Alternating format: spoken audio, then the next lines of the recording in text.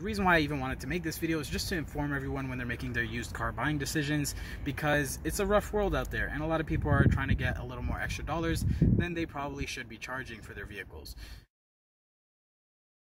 Hey guys, my name is Karen and welcome back to Octane Street Road here on YouTube that never ends and today I'm going to be showing you guys how to properly inspect a vehicle visually. And now there's a difference between visually and mechanically. So what I mean by visually is we're going to be taking a look at panels on the vehicle that have been repaired or repainted or replaced. Now these are three very important things because if there's multiple panels that have been replaced, then that most likely means that the car has been in an accident. And so if you're buying a used car, say a Honda Civic, and you see that the whole right side has been replaced or repaired, that's not necessarily a car you might want to buy. Or if you still want to buy it, then at least pointing those things out to the seller can get you a pretty hefty discount as long as you know you could kind of prove it. And so to help me prove that today, I have three tools with me. However, none of them are necessary, but I would highly suggest picking them up because not only do they last a lifetime, they're also extremely cheap. I'll have links down below in the description. Uh, not a sponsor by any way, shape, or form, but these are just three tools that I use in my daily life as an apprentice mechanic. So to start off, the first tool we have here is a paint gauge. Now what this tool does is when you tap it on a metal surface, it'll actually read out to you in millimeters the depth of paint or rather the coats of paint on that surface. Now it only works on metal surfaces, so aluminum, steel, iron, things of that nature. So if you're going to uh, try and use this on a plastic panel, I know BMWs have plastic uh, fenders. If you try and uh, scan that with this tool, it's not going to work and it's, instead it's going to give you a little error code. So again, what this does is it reads out the paint depth or paint coats to you in millimeters. I'll explain why this is important later, but for now, that's essentially what this tool does. It does use two AAA batteries in the back here, but once you put two batteries in, it's good to last you at least a year, assuming you don't use this every day like I do at my job. The next tool here that we have is one that you're probably more familiar with.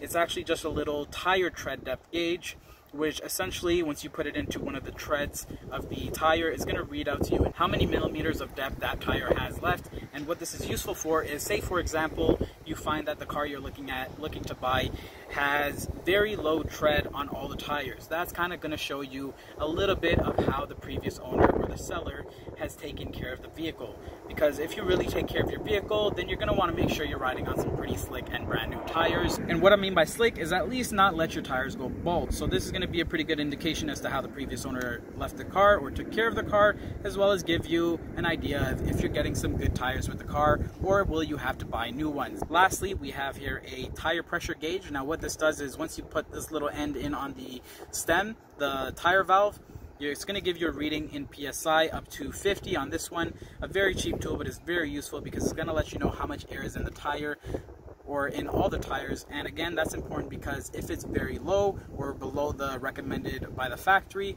then it's kind of going to give you an idea again of how the previous owner was taking care of the vehicle. With that being said, we're going to get straight into the inspection and the first tool I'm going to be showing you guys how to use is the paint gauge. Alright, so the first thing you're going to want to do is actually pop the hood. I'll explain why later, but most commonly you could find the hood latch right under around here and right there okay? So normally it's right here sometimes it'll be inside here sometimes on mercedes it's really far down but that's essentially where you'll find the hood latch. So you, after you pop the hood you can start on any panel you want. It'd help a lot if you had a friend with you maybe keeping track of all the damages you find so you could just do your job and investigate the vehicle so I'm going to start at the left front door since I just popped the hood I closed the door and we're actually going to be using the paint gauge so if you come in closer a little bit so you just hold it on there for a second. It's going to give you a reading in millimeters. So five millimeters is actually the standard that a lot of vehicles and manufacturers use. Anywhere between four and five is usually a healthy spot. I know some Mazdas and Toyotas like to go a little bit lower and use 3.5 milliliters, millimeters of paint depth. Um, but around that range is where you're you're most likely going to want to be. Even on high-end cars, it doesn't matter. Uh, that's still where usually most of them are, unless you're talking Maserati. Then they like to go a little bit higher. All right, so we scanned the the door, and it read five millimeters. Now you might be asking yourself, so what if I don't have the paint gauge? What if I, I can't afford it or I don't have access access to that paint gauge where, where I live? Then what you can do is actually, first off, visually look at the door, okay? If the paint looks okay, use your judgment. Look all around, see kind of how all the panels look, and see if all of them look relatively the same or not. Now, I can already tell from this angle standing here on first glance of the car, by looking at that here, um, it's very, very off in terms of paint. I can tell completely that it's repainted, possibly even replaced. And now, as I'm saying that, I can see my friend shaking his head no, because he didn't know that, and that's okay. That's what I'm here to do today. And so, what what I'm gonna do uh, is show you guys essentially what you do if you don't have the paint gauge. You're gonna take your nail and a little bit of your finger, okay? You're just gonna rub it gently on the side here okay? And you're gonna see if it feels rough. Now, no matter what car you're buying, fresh out the factory, the paint here is gonna be really, really, really nice and smooth.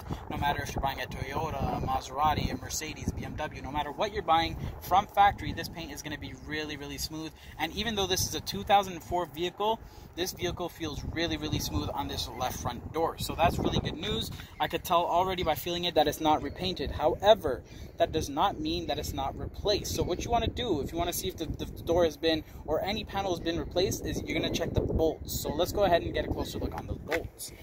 Now those are a little bit hard to see. Open the door gently as much as it can. And then what you're want to do is you're want to try and get a close shot of these bolts right there. So those two up top and there's to be two more at the bottom.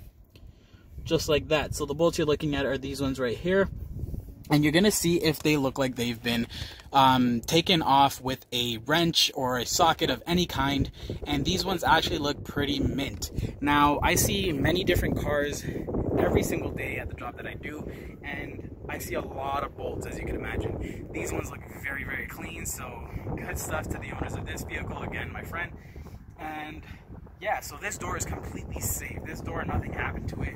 It is a little bit scratched, but we're not going to be looking at scratches and dents today because that would take a whole long time. So today, again, we're only looking at repaired, re repainted, or replaced panels. All right, so you scanned your first panel, you got a number on the paint gauge. Now you want to know if it's exactly normal for the car. Well, the best place to check on any vehicle to see if it's around where the car's paint level should be is to check the roof. Now, on some vehicles, this can be a little bit difficult if they have a panoramic roof or a very large sunroof, which essentially is what a panoramic roof is, because there's going to be a lot of plastic and glass up there, which again, this only works on metal.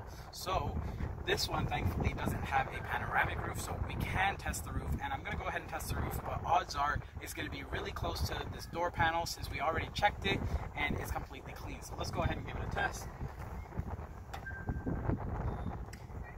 and just like that is 4.5. So the range where you want all the panels to be within is about one millimeter, okay? So that means if you scan a panel and it's 4.5, you kind of want your other panels to be around 4 to 5.5. Somewhere in that ballpark means, okay, it could become, it could come from factory because even though these cars are manufactured in factories, it doesn't necessarily mean that they're all going to come out with the exact amount of paint coats on each single panel. They're doing thousands of these cars, and so the chances are they're not all going to be perfect.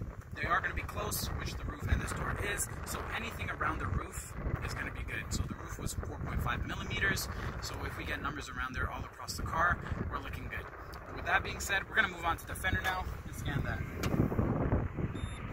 So this one here, 6.5, a perfect example of what you want to watch out for. So this door we got 5, the roof we got 4.5, this one, although I can visually tell uh, that it's repainted, we got a scan that also implies that this this panel has been repainted over. Now, just because the panel's been repainted doesn't mean that it also hasn't been replaced. This might be a completely brand new bumper that the owner had to buy previously and they had to paint it over to match the car because whenever you buy a, uh, a factory part for your vehicle, it doesn't come painted you always have to get it in like some black color or something like that, or just a straight up steel or whatever color, aluminum. Um, and so yeah, you're always gonna have to paint it. So we're gonna get into that very shortly, but for now, I already know this panel's been tampered with. And again, you can use your finger to double check if you want, use a little technique. You're always going to want to go in the corners of the panels. And the reason why that is, is because whenever they're getting a paint job done to them, they're actually, the, the people who are painting them aren't going to take the time to bend around each little corner and crevice and get the paint in there all nice and neat. So that's why on those corners, on those edges, it's going to be a little bit rough because they're not taking the sweet time to, to get those spots really well. So that's why I could even tell very clearly with my with my nail and my finger that this panel has definitely been repainted. If you guys want more information on how to tell for repainted or replaced panels, even for dents and scratches, leave a like below this video and I'll go ahead and do a video on that as well. It never hurts to leave a comment either. So with that being said, we're moving on to the hood now. Now before we actually lift up the hood, what you're going to want to do is scan it. So we got 6.5 here as well. And if you guys are paying attention, you already know that. What does that mean? I don't know. I'm the audience. Well, that means that it's not good news because that panel, which has been tampered with and we have already declared has been repainted, was reading the same number as that, which means that this hood is most likely also repainted, unfortunately. But the other thing we're going to check out before we open up that hood is actually the right fender. So this fender gave a 4.5, which is right exactly at what the roof was. So that fender looks good for now, but that's where it could get scary because that might be a replaced fender. So now we're gonna actually open up the hood and check a little bit further. Okay, so the first thing you're gonna actually wanna look at under the hood are these bolts right here. So these bolts, this one up here and then this one further up, these bolts actually connect the fender to your, those two bolts are actually what connect the fender onto the car very firmly, along with a bunch of little clips underneath on the inside but that we're not going to worry about. So these bolts actually look very clean. Now what you want to look for when you're looking at fender bolts is you want to look around them. So don't be afraid to get your hands a little bit dirty, maybe bring a rag. But this bolt right here, you can tell it has never been moved, not only because the paint on the bolt is still very, very, very clean and mint, but around it, you don't see any circle dirt marks around that indicates that this bolt has been wiggling around and trying to come out. So this is a very, very good sign that this fender has not been replaced, but has only been repainted. So next we're going to look at the hood bolts because it was reading the same thing as the fender. And the hood bolts, you're going to want to look over here. There's two bolts right inside here, and there's two more on the other side that look exactly like these ones. So what you want to look for is again the same thing. Are the bolts touched? Are they do they look like they've been tampered with in any way, shape, or form? If you see paint peeling off of all four bolts, that indicates that it has been replaced. And now sometimes you'll see only two bolts affected and the other two look mint. And now what that means is the, the previous owner actually got the hood realigned and adjusted. So it doesn't mean that the hood's replaced, but it just means that they the fitment of the hood wasn't exactly right. So they, they took off the bolts off one side to kind of jostle it around and make it fit a little more flush with the rest of the car. So with that being said, the next thing you're going to want to check, just for your own sake, is the oil. Now it's, it's usually going to have a nice bright color as the dipstick and a lot of times it'll also say engine or oil on it or it'll have a little picture on it. Um, and you're just going to want to take that out. Make sure you have a rag with you. Unfortunately, I didn't bring one. If you really want, you could wipe it right up here on the car. But if you're to go buy a car, I wouldn't recommend you do that because oil can be some very dirty stuff. But this is under the hood of a 2004, so it shouldn't be a big problem. So once you get it off, clean, make sure the car is off, of course, put it back in, and take it back out. This is going to give you the exact oil level of the oil that's in your car. And not only do you want to see the level, it has to be below this dot. This is usually the maximum line dot, and this is the minimum. If it's below this, the car needs an oil change or at least a top up. And if it's above this, then you don't have to worry too much, but it does mean that the, the, they did put a little bit more oil in the vehicle, which isn't the biggest issue. However, it can force the car to have leaks underneath. Um, what else you want to look for is the color of the oil. Now, in most cases, if the oil is new and fresh, it'll be this color. So this is actually really good oil. I'm assuming that my friend here got an oil change very recently because this oil looks very clean, very loose, and very ready to cause some damage. Now, if the oil is very dark or close to black, that means that the oil is burnt and dirty and needs to be changed. So this could also give you an indication or a little bit of an idea as to how the previous owners treated their car. If the oil's clean, you know that they maybe possibly kept it up on maintenance and kept it clean throughout the duration of the car. However, if they're a little bit of a sly one, they could just have gotten an oil change done before having people look at the car. So I do want to point out that if you are buying a turbocharged vehicle or one with GDI, which is gasoline direct injection, then the oil is going to be then the oil is going to appear to be darker than normal, and that's because of how those engines work with their fuel injectors and stuff like that. So don't worry too much if the oil is a little bit dark on a turbocharged or gasoline direct injection vehicle. With that being said, our oil on our car is good and good to go. We found out that the fender is only repainted and not replaced. The same thing for the hood, it's actually repainted and not replaced. Just to double check, I'm gonna use my fingers and feel the edges here again. Now you could feel any edge of it, just try not to go too much to the front because sometimes the grill or the molding will actually bend over to the front and that's gonna give you a false reading. So make sure you feel here, make sure it's nice and smooth. This one is a little bit rough and that is again because it is repainted. So you don't wanna get mixed up between a rough paint job and little chips and dings that are in the hood um, because that sometimes it could make you, it could really throw you off. So what I would suggest is if you have family members or friends, go to their cars and just start feeling the paint. Tell them you're not going to be damaging it. Again, you are rubbing your finger very lightly on it. So just let them know, show them this video if you want, and you know, tell them to practice with you. Get your finger skills really good because then you won't even need the paint gauge at all.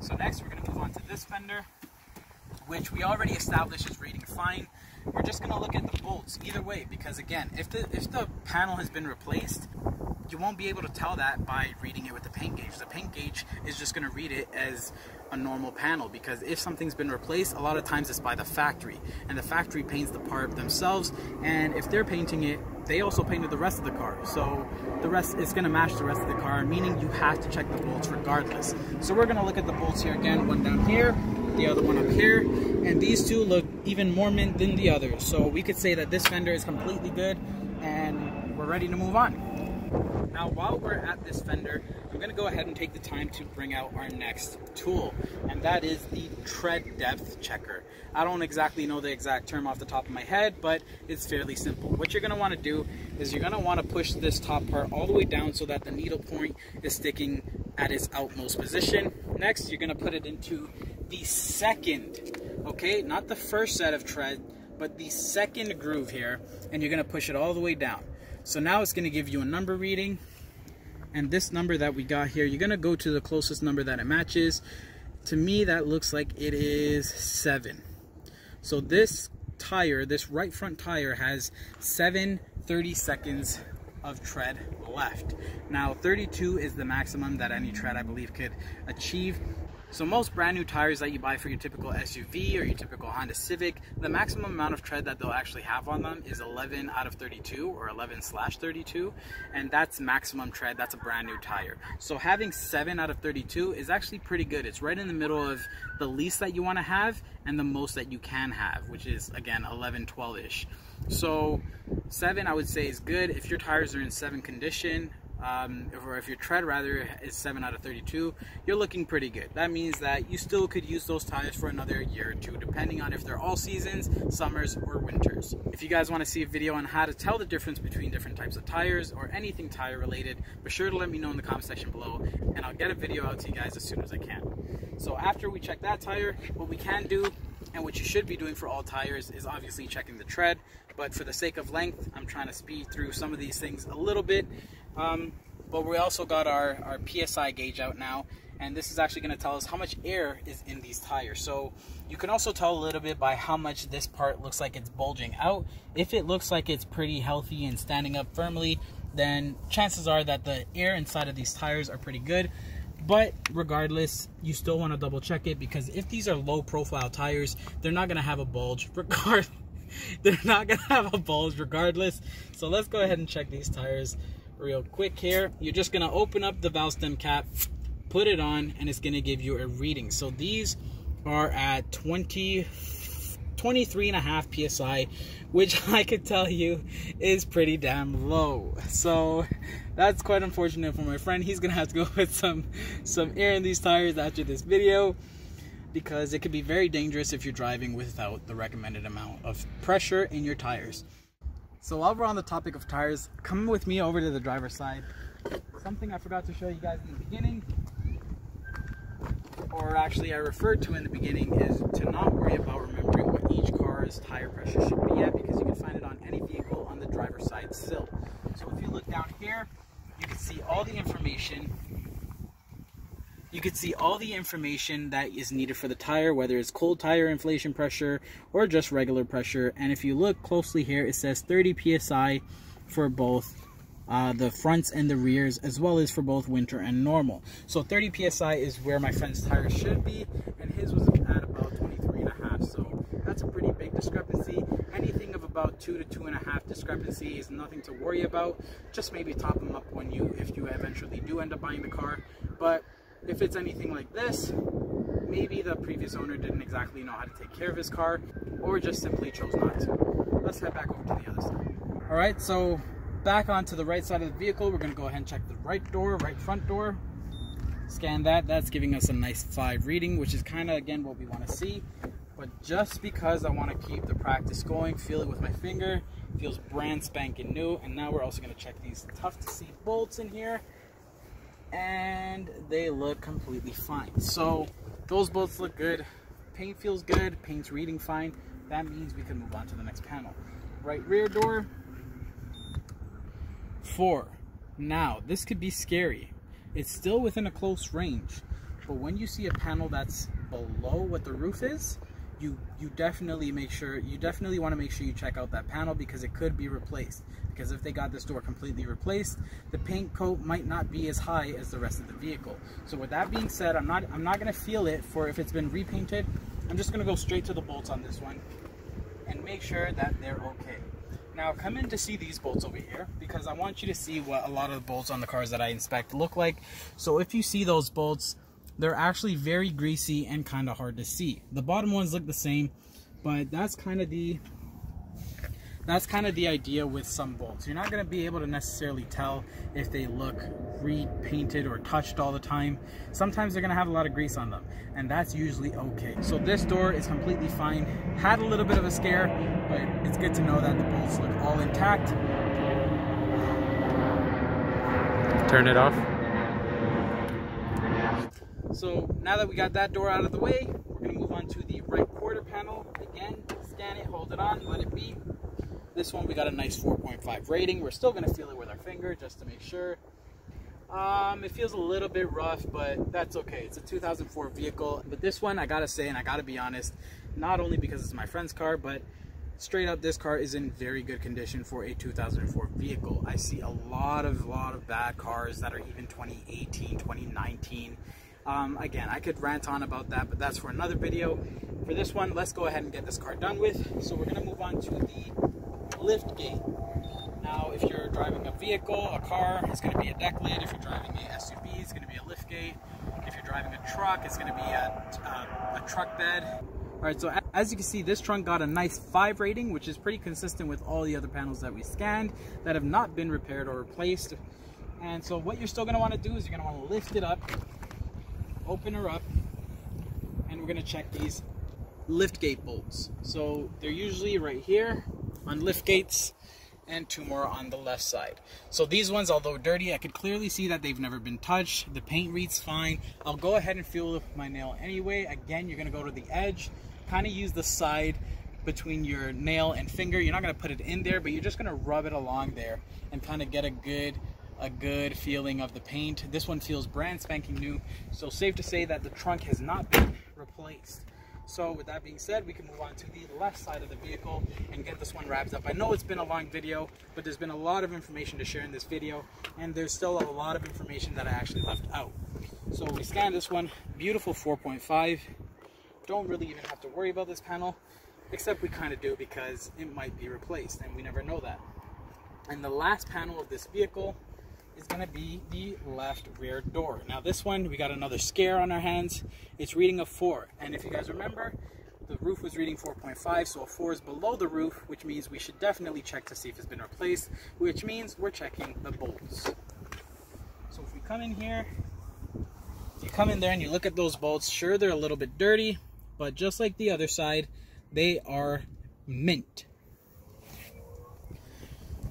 And with that being said, my friend's car seems to be in pretty tip-top shape for a 2004. There's only been two panels on this vehicle that have been repainted, that being the left fender and the hood. So if a vehicle is being advertised to you as having no DAC no accidents or no damages and you find something like a left fender and a hood uh, repaired then you could kind of use that to your advantage if you still even want to pursue that vehicle.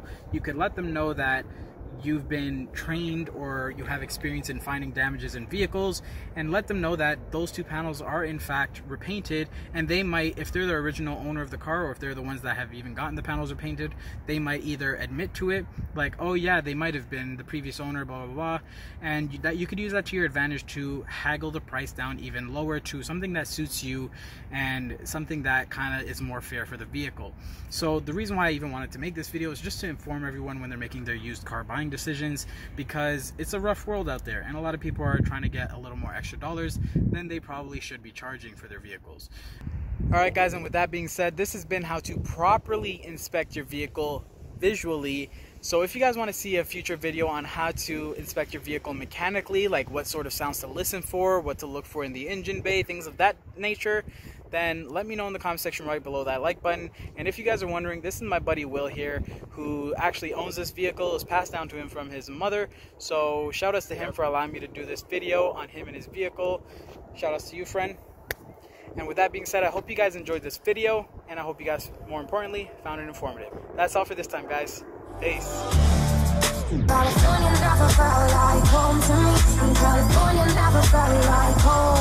In California, I have a like home